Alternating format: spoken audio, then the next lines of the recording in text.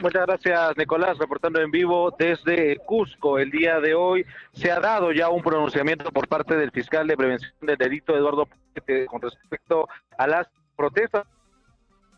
de eh, mañana. Es importante detallar que eh, ya algunos gremios como la Federación Departamental de Trabajadores de Cusco, la FDTC, ya anunció de forma pública mediante un comunicado su participación en estas ah, protestas que se habrían convocado para el día de mañana, ah, justamente como vengo anunciando, y esto se estaría dando en un marco de rechazo al gobierno de la presidenta Dina Boluarte, al Congreso de la República